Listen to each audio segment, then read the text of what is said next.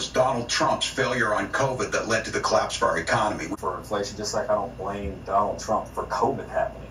Uh, he didn't bring COVID, but once COVID happened, our country went into a tailspin.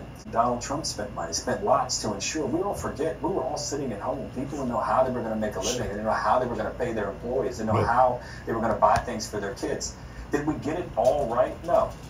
But I got to tell you, the bet that we took, and it was President Trump who gave us Operation Warp Speed and huge investments in the country, making sure that businesses could stay open and pay their employees.